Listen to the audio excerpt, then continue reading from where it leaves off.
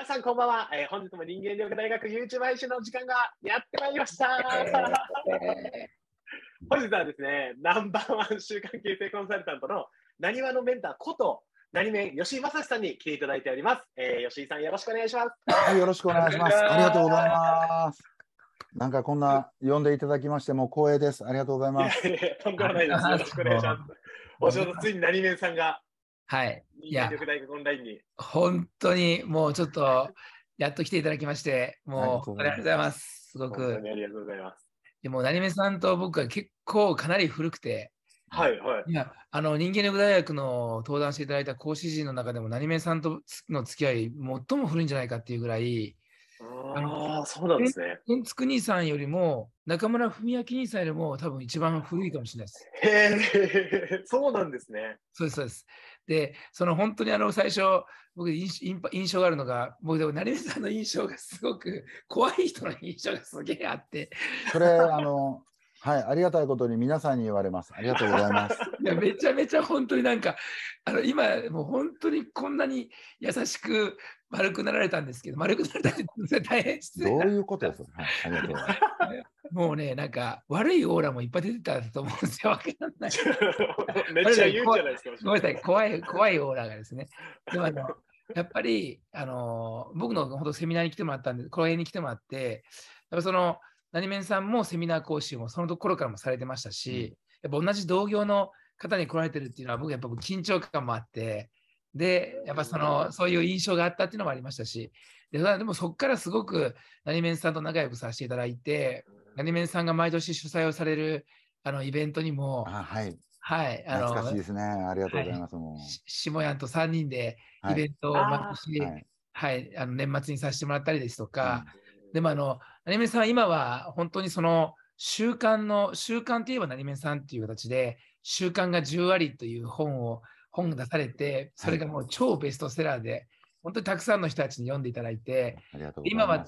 はい、もうあのスポーツのメンタルトレーナーもされてるんですけども、企業の人気コンサルタントとしても、本当にたくさんの僕も周りのなんかあの知ってる方のあのコンサルも、アニメさんに入ってもらったんだよねっていうふうに嬉しそうに言ってもら言われる経営者の人がたくさんおられて、僕の周りの経営者の人たちもたくさん成面さんにお世話になっています。はい、成面さんが入られると企業が本当に変わるということで、えー本当にそういうことも聞い僕も個人的にいろいろどんなことをしてるのか聞いてみたいとすごく思うんですけども、今回のタイトルが、今回10月の24日、人間力大学にお越しいただくんですが、人生を変えたければ日常を変えろというタイトルで、はい、成明さんにお話しいただきます。ついそんな成面さんに来ていただきました。はい、ありがとうございます。はい。なのでですね、今回の YouTube の事前対談ではですね、えっ、と、その講演の内容にもつながるお話を聞けたらと思うんですが、はいまず、えー印象に残っている成明さんの中で、習慣が10割とかでも書かれてたりしたと思うんですけど、人生が変わる人と変わらない人の大きな違い、ここって何があるっていうふうに成明さんは考えてらっしゃるんですか？まず一つは、人生をより良くしようと思ってるか思ってないかです。ああ、なるほど。いや、これ、あ、すごい良かった、二人のそのリアクションで。いやこれ、あの、一般で言うとね、はい。えーそんなことを聞いてるに違うんですと。ないるや、もうもっと、これがあるからすっていうも、もっとすごいことがあるでしょって言われるけど、いや、でも、本人がもっとより良くなりたいか、俺ってなって思ってるかの、うんまずそこの入り口めっちゃ大きいんちゃうかなと思う。いや、めっちゃ大きいですよね。はい。確かに確かいや、わかります。なんかこう、変わりたいって言ってても、本当は変わりたくない時そうってこうそう自分も含めてあったりしますもんね。大島圭介さんがよく講演でおっしゃってる、可能性は無限みたいな。に。はい。で、相手の可能性も信じるとかってはい。おっしゃってるけど、自分の可能性を自分で信じてない人多くないですか？めちゃめちゃ多いです。感じるんですよ。めちゃめちゃ多い。うん。なんか自分をなんか、その辺でもう値踏みしてしまって、そうそうそうああ、なるほど。これすごい。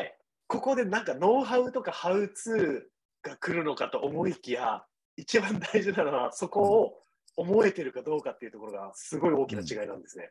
思ったふりはみんなしてるんですけどね。これがまた面白いところで。面白いところですよね。これすごいな。多い、多いですね、確かに。思ったふりはあんねんけどな。はい思ったより。はなんか僕今聞いてる耳が痛いですもん。い。いや、だからそれだけ僕らって、ほんまに自分のこと信用してないんやろな。いやー、なるほどな。うん。なんか今ガツンと頭をこうドンキで殴られた気分ですね。いやいや。確かそれでなんで習慣っていうところに持ってきてるかっていうと、はいはいはい。よくはこの言葉があるやん。あの、思考が変われば言動が変わって、言動が変わって習慣が変わって、習慣が変われば人格が変わって、人格が変われば運命が変わるって。うん俺勝手に定義してんねんけど、思考が変われば言動が変わるの1行目の1個前にはい言葉が隠されてんねん。だっていきなり思考なんて変われへんやろ。うんうんだって1行目にあれ来てる確かに。何かがないと変わらないですもんね。うん。ほんで、それを質問されんねやろ？でもこれを 今日答えてええの？いやいやいや、これは答えとこう。これは答えとこう。これは答えとこう。はいここで終わったかん。実は、自分との約束を守ると思考が変わると思ってるんですよ。自分との約束。で、自分との約束って何言っても、僕ら約束破りまくってるんですよ。朝起きてさ、今日こそはこうしよう思って、昼ぐらいになったら、いやいや、もうしょうがないやん、胸ちゃんから電話がかってきたから、その分できへんかったから明日しようとか。めちゃくちゃわかる。何か人のせいにしといて、自分との約束を破っていってんねん。だって。僕ら、僕今63になったんよ、圭介君。はい、あー63。で、きっと63年間約束破りまくってんのよ。いやいや例えば、1月1日に、今年こそはこうしようって思いながら、もう9月やで。どうなってんの？って聞かれたら、いや、まあまあ、こ今年はこうやったんや。いやいや、そう言ってもな、みたいな。で、また来年の1月1日になったら、今年こそこうしようとか思うねんけど、また破りよん。確かに、確かだから大きいとこで言うとそういうことやし、ちっちゃいことで言ったら毎日約束破りまくってるはずやねん。で、だんだんだんだん、俺ってこういうパターンみたいなのが、ほんまは知ってんねん。いやそのちっちゃいカスがずーっとこう積もり積もって今63歳なんで、でもまあ今なんとかこう、なんとかやらせてもらってんのは。ちっちゃい自分との約束をちょっとずつちょっとずつ守ろうとしてきたので、よくみ成功者がおっしゃる凡事徹底とかさ、毎日決めたことをちっちゃなことをやることで意識変わるよ。意識変わる前に、ちょっとずつ自信ができてたり、うんあときっとあの、さっきの講演の時の話でいくと、大島さんたちも思ってはると思うけど、自分す、ほんまに自分のこと好きな人少ないと思う。少ないですね。うんもったいないなぁ思って。結局自分のこと好き、よく今自己肯定感とかいう言葉がこう皆さんに、うんはいはい。自分のこと好きじゃないのに人のことも好きにならないしな。いや、本当そうですね。いや自分のこと好きじゃないのに大切な、まあ子供さんとか大切やったら、自分のこと好きじゃないのに子供愛されへんやろ。いや、そうですね。うんいや、あの、何々さん、ちょっとき聞いていいですか、僕？うん。あの、僕もその高校野球の,、はいはい。その中村高校っていうコーチで、すごいあの、はいはい。少人数で甲子園行ったところ。あって、そこがう、んはい、まさに自分との約束をすごいま守るチームで強くなったんですよ。うんうんうんこの毎日毎日本当小さな自分との約束うんをなんか守るっていうか、それを表にしてあって、うんうんで、自分で決めたことをややりきるっていうことをみんな表にしてやってやってて、うんで、監督もこれが大一番切チームを強くした、そのメンタルを強くした要因かもしれないって言われてたんですけど、成目さんもそのやっぱスポーツのメンタルも入られるじゃないですか。はいはい。そそういうなんかその自分との約束っていうこととかもややったりするんですか？あしますね。します？はい。あ、そあれの、特に、うんまあ、別に何をしようって迷ったのその、実際のプレーに持ってきてもいいし、あ毎日この自分のダッシュ、ダッシュするのがめっちゃ嫌やねんっていうやつは、せめてこのインターバル5本とか、それ絶対毎日どんだけやるんや。でもいいし、プラス、やっぱりお家でちょっと一個なんか作ってもらってるな。そうですよね。あの自宅から通ってる子は。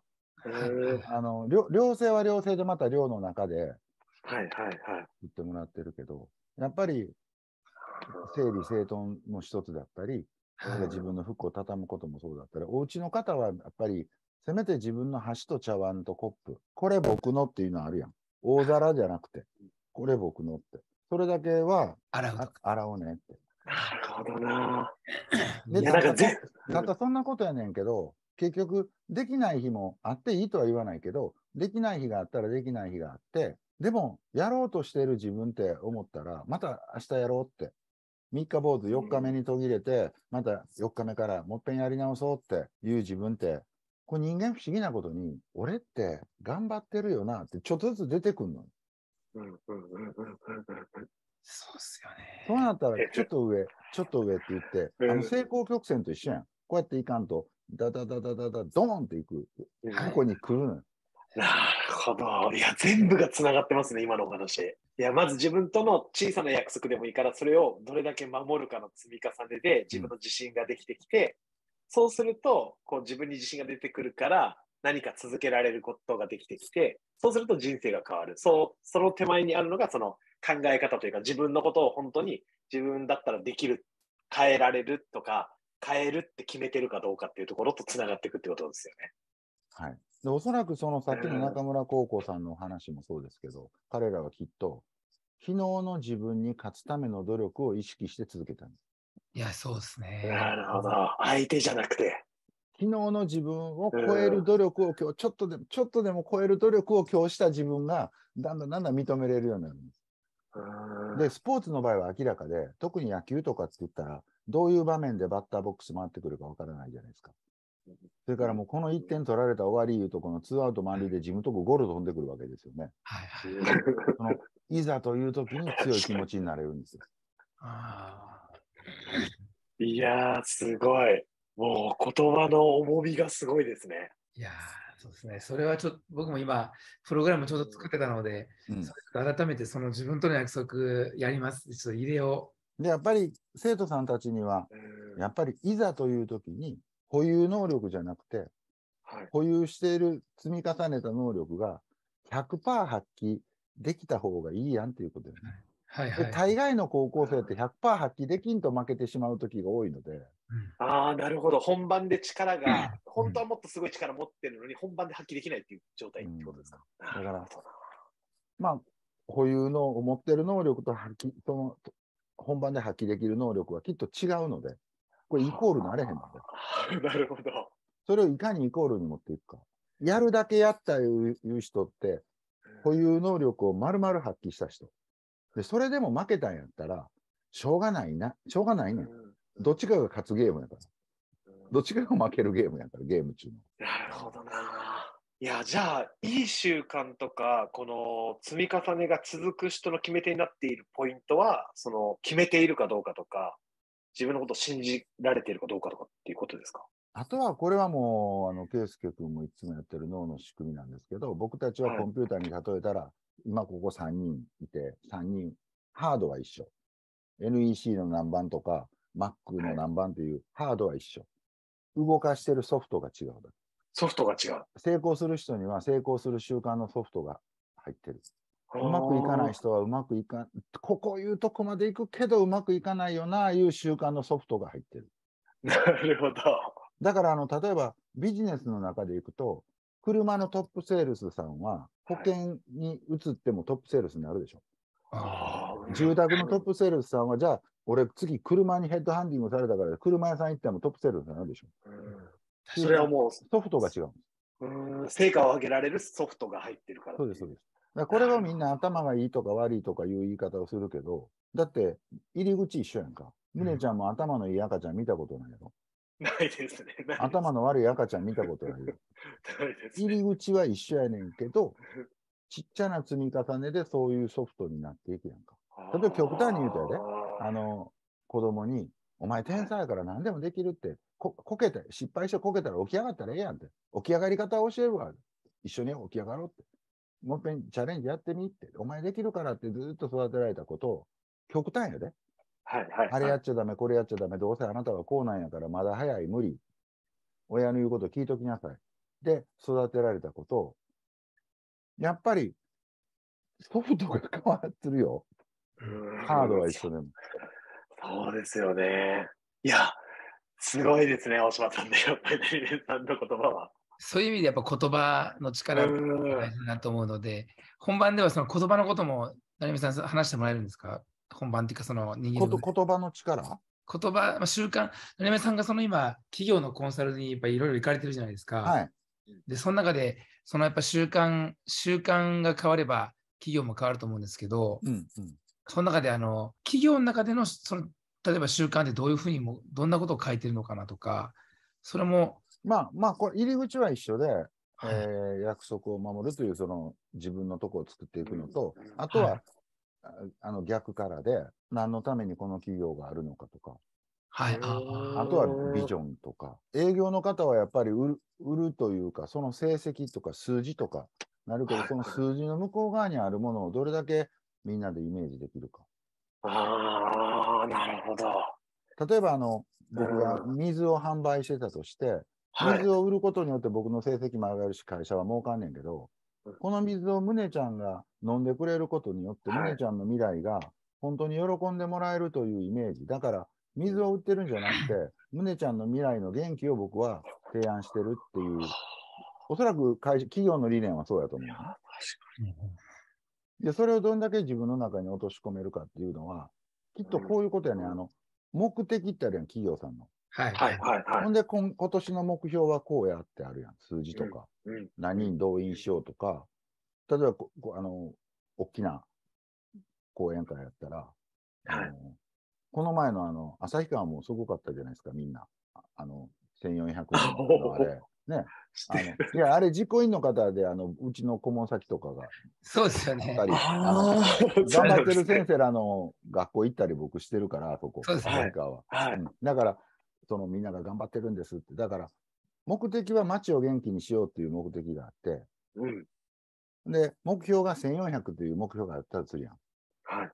で、彼らにはずっとこう言ってたら、その間に、成果が、要するに、1400人集めることが成果じゃないわけやんか。うん。うん。その先ってことですよね。で、でも、目的は旭川を元気にしよう。単発で元気になってもあかんわけやんか。うん。成果っていうのは、この目的のためにこういう目標でみんな頑張ったら、どんな感情になるか、どんな環境になるか、どんな気持ちになるか、どんな気分になるかをみんなで話し合ってたらあいいわけやんか。なるほどな。ケイちゃんとかプロ野球関わってるからあれやけど、そのみんな、プロ野球の選手、僕ら引退前の選手とかも喋っても、みんな同じこと言うやん。俺、い一回でもええからビールかけしたかったわ。あ。要するに、野球やっててプロ野球になる、プロの選手になるってすごいことやん。なおかつ一軍で活躍するってすごいことやん。はい。でもこの人らでも、ほとんどの人が優勝経験してないんで。そうなんですね。今のね、阪神の選手でも優勝を知ってるっていう人数人しかおれへんねんから。ほらですね。確かに。というなるほど。で、ビールかけするやんか、みんな。例えば、宗ちゃんとこの会社で、はい。12月29日が今年のな、仕事納めやとするやんか。は。はいい。どんな気分になったらビールかけ盛り上がると思う？もし29日にビールかけ、まあ寒いからちょっと難しいけどな、ビールかけみんなでやるとしたら、じゃあ、はいじゃあ売り上げが会社の目標が達成してたら、それだけでビールかけやろういう気分になるか？いやそこにプロセスとか泣いたり笑ったりしながら、ここに目指してきて、で、達成したらドカーンいけるわけやんか。はい。確かに。はい。これ、はい。これ、この気分とか感情を共有しとかないと、うんともすれば、この目的のために君たちはこの数字を上げなさいだけになってまうわけ。なるほど、なるほど。確かに。だから、だからそこをずっと繰り返し企業の中でやっていくとみんなが、よっしゃ、こんなんやってみようかみたいになってい。くのがちょっと多いかな。確かに。それを、イメージを共有できると全然違いますよね。数字は達成してても、この人は喜んでるけど、この人は達成感感じてないとかっていうことってすごく細でかく無理やり。数字達成したらボロボロになるときあるやろ。うん。やったけど燃え尽き、症候群みたいな。だけど、もうもう来年もいや、これ以上数字上がんねやろみたいな。来年これよりは大きくなるのかだから例えば企業の中で、もうこの数字ちょっと、もうええって、もうそこまで頑張らんでも、そんなことしたら来年もっとこんな数字になるぞとかって言って、そこそこ後半になったらなると場合があるよ。確か数字だけ見てた。に。いやー、そうですね。なるほどな。深いな。当日はあの、やっぱこ個人の人たちがやっぱ多いのは多いんで、そうですよね。うんあの人間力大学の人たちはやっぱり自己肯定感比較的高い人は多いんですけど、でもやっぱりまだまだ日本中は自分のことを好きじゃないとか、うん自分私、成目さんが言って言われたように自分を信用してないとか、うんで人間力大学の会員さんもそのやっぱ自分の周りの人が自分を好きじゃなかったり自分を信用してない人たちが多いのでそのどうしたらやっぱ自分を好きになれるかとか自分に自分自自分を自分で信用できるようになるかっていうこととかもちょっとその習慣でこんな習慣があったらええでっていうのを話してもらいたい話してはい、今日はこの本番 本番に取っといていただいいて、やー、すごいこの時間、めちゃくちゃ貴重な時間ですね。はい、もう僕はあの早速メンタルトレーニングのあれに自分との約束っていうのをもう入れるようにしますんで、はい、ありがとうございます。いやー、ありがとうございます。やってください、やってください、もう。いやー、何弁さん、本当ありがとうございます。もうあありがとうございます。10月の24日、人生を変えたければ日常を変えろ。もうぜひですね、あの概要欄に何弁さんのプロフィールやリンクも貼らせていただきてますし、そして今回のその人間力大学にもビジター一般でもですね、あの参加できる方法がございますので、そちらもリンク貼らせていただきますので、ぜひぜひご参加いただけたらと思います。あの、人間力大学のこの YouTube チャンネルではですね、今回の何面さんのようにですね、本当に貴重なお話をしていただく講師の方々が、あの、登壇しますので、ぜひですね、チャンネル登録していただけたらと思います。そして見ていただいている皆さん、本当にありがとうございます。ありがとうそして、何面さんも、大島さんも、ありがとうございます。ありがとうございます。ありがとうございます10月よろしくお願いします。は10ーい月楽しみです。頑張りますす。